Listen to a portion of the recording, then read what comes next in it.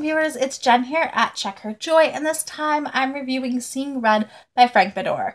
This is the second book in the Looking Glass Wars series. The first book is called The Looking Glass Wars, and I have already reviewed that, and I will post a link to that in the description below. I've also already read and reviewed the prequels to this, which are the Hatter Madigan graphic novels and Hatter Madigan Ghost in the Hat Box, and I will post a link to those reviews in the description below also. I've gotta say that I am not digging the Looking Glass Wars as much as I did the stuff before it, though. Like, I really love the graphic novels, and I think Ghost in the Hat Box is so amazing. These are kind of letting me down a bit. This world that these books exist in is Wonderland. It's the Wonderland of Lewis Carroll's novel, except it's not. Um, Lewis Carroll kind of heard Alyss Heart talk about it and he made up his own version of what Wonderland is like.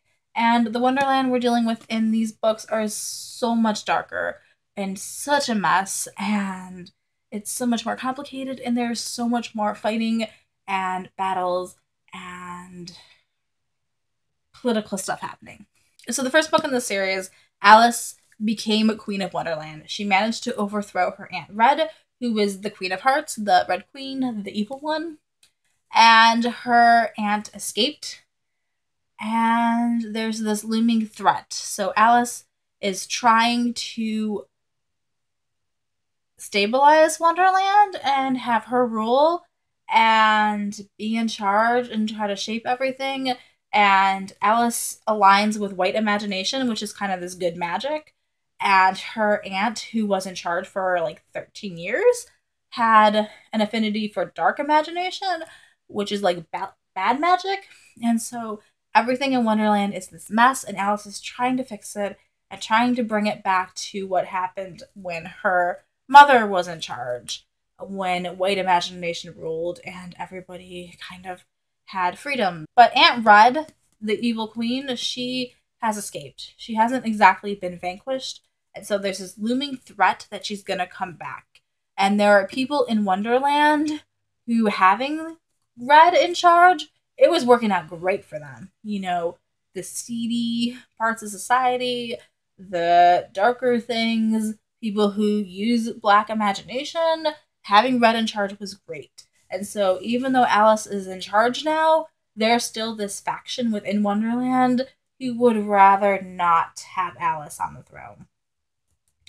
Um, so, it's interesting trying to see Alyss fix Wonderland. There's been this massive war there's been 13 years of chaos and darkness and trying to rebuild everything. Like Alyss's childhood home got completely wiped out. Um, so she's got to build a new palace.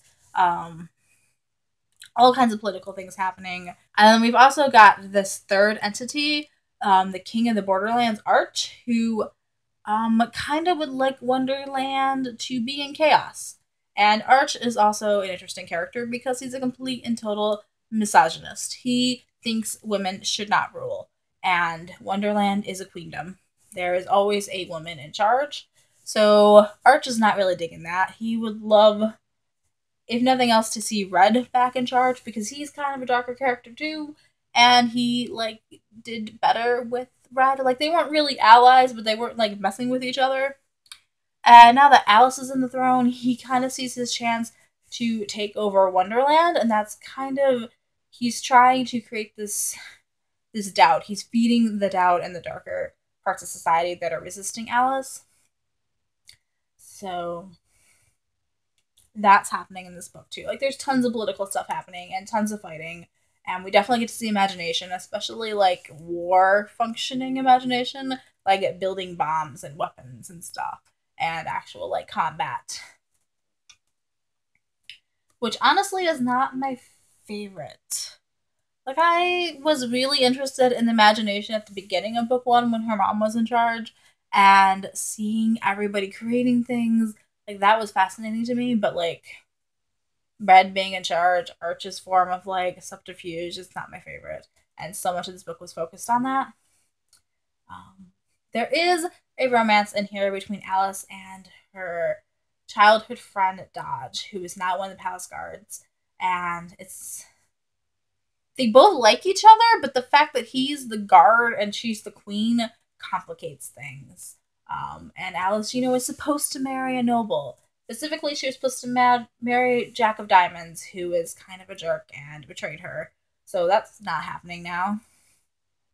Also, everything with Jack is just interesting and a mess, also.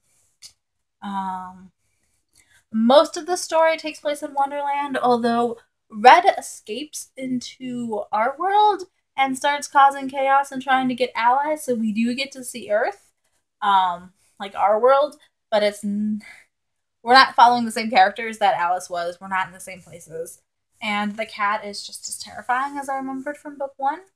Uh, he's really not my favorite.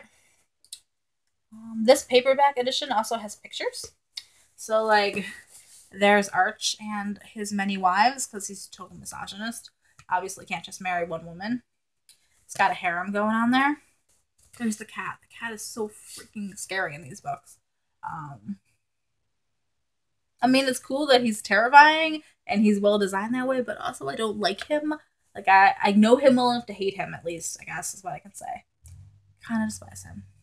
There's also a storyline in here with, with um Homburg Molly, who was Alyss's bodyguard, but she's like a teenager, like 13 or 14 or something, and not sure of herself, and she's always second guessing herself, and that becomes a big part of this book also. Like I I thought she was so much more interesting in book 1, and I have to keep reminding myself that she's only like 13 or 14 and that um cuz as the queen's bodyguard kind of expecting her to be older, but she's not. Um but the thing that she's most worried about is the fact that she's this halfer. She's half millenary, half not.